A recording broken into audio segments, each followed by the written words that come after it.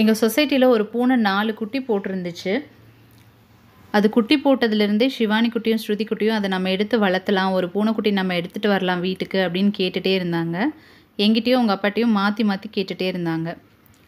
நாங்கள் ரெண்டு பேருமே வந்துட்டு அப்பார்ட்மெண்ட்டில் ஒத்துக்க மாட்டாங்க அப்படின்னு சொல்லிட்டு சமாளிச்சுட்டே இருந்தோம். டெய்லியும் போய் அதை பார்த்துட்டு அது கூட கொஞ்சம் நேரம் விளையாடிட்டு அந்த மாதிரி தான் வந்துட்டு இருந்தாங்க. இவங்கள பார்த்து அந்த பூனை பயப்படக்கூட இல்லை. அவங்க கூட விளையாடுவாங்க. நார்மலாக நம்மளாம் பெரியவங்க போய் எடுத்தோம் அப்படின்னா பூனைக்குட்டியை வேறு இடத்துக்கு மாற்றி வச்சிரும்ல இது அந்த மாதிரி பண்ணவே இல்லை. இவங்க போய் போய் டெய்லியும் விளையாடிட்டு வந்துட்டே இருந்தாங்க. ஒரு ஸ்டேஜ்க்கு அப்புறம் சிவானி குட்டி பூனை வேணும் அப்படின்னு சொல்லிட்டு ரொம்ப கம்பல் பண்ண ஆரம்பிச்சிட்டா. எனக்கு இந்த பெட் அனிமல்ஸ் எல்லாம் வளர்த்தி பழக்கமே கிடையாது. அதனால் எடுத்துகிட்டு வந்து நம்ம கரெக்டாக பார்த்துக்குமா என்ன அப்படிங்கிறது தெரியாது. குழந்தைங்களும் எந்த அளவுக்கு பார்த்துக்குவாங்கன்னு தெரியாது. ஒரு பெரியவங்களுக்கு அதை பற்றி தெரிஞ்சிருந்தா தான் அதை வளர்த்த முடியும் இல்லையா? சிவானி குட்டி ரொம்ப கம்பல் பண்ணி கேட்டதுனால அவங்க அப்பா சரி எடுத்துகிட்டு வந்துக்கங்கன்னு சொல்லியாச்சு. இன்னைக்கு போய் அதை வீட்டுக்கு எடுத்துகிட்டு வரவும் செஞ்சாச்சு.